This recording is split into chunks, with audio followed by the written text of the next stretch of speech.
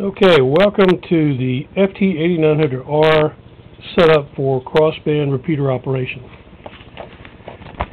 In the, uh, in the manual here where it talks about crossband repeater operation, uh, tells you to pick your frequency carefully and then uh, think about your CTCSS settings, uh, so on and so forth. Then it tells you how you can actually activate that mode by going into the uh, set menus, but it doesn't actually tell you uh, if one side is the master and one side is the slave or recommended band settings. I have noted that the recommended FM simplex for 70 centimeter is 433 to 435 megahertz and 445 to 447 megahertz.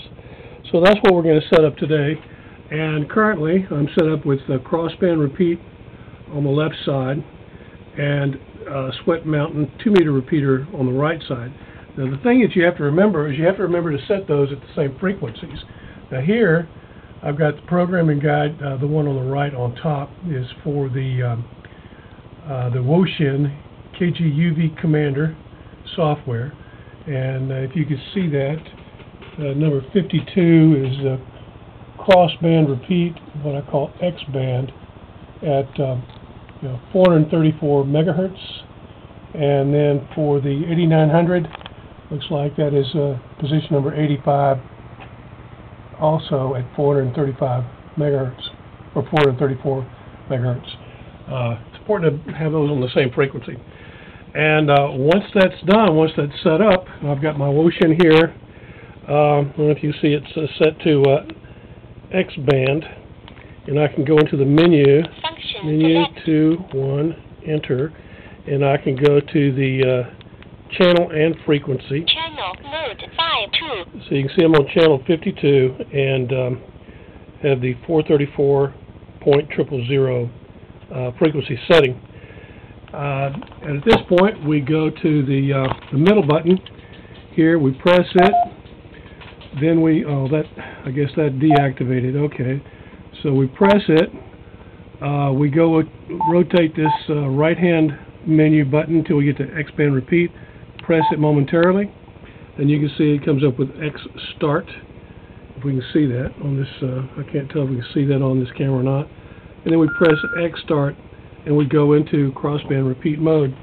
So here I've got my uh, my uh, HT set up on my 70 centimeter simplex link to the um, left hand channel, and then the right hand channel will be uh, broadcasting on this other Wouxun HT on uh, let's see if you can see Sweat 2, channel number 1. Oops.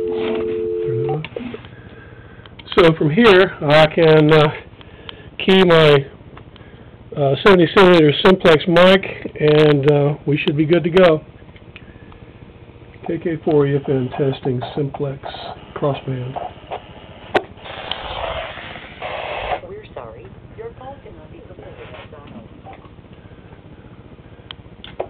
Four ESM. AK four MH. I got my call sign for you. KK4 Sounding good out there. Yeah. It's, uh, AK four.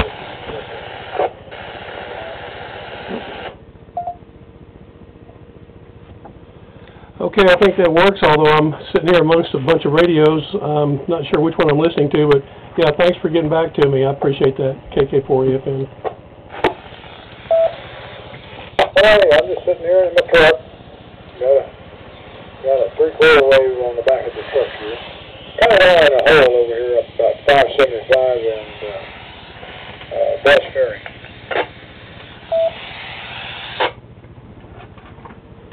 Okay, yeah, roger that.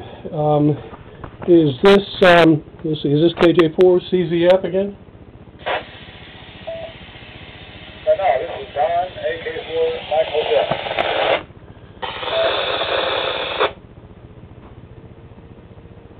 Okay, uh, QSL, Don, AK4 Mike Hotel. Thanks, I was just, um, swapping channels around on this, uh, 8900R quadbander in uh, crossband repeat mode. I was just trying to make sure that it would work, um, uh, if the simplex was on the right channel, going out to the uh, two-meter repeater on the left and and vice versa. Looks like it does, so uh, thanks for getting back.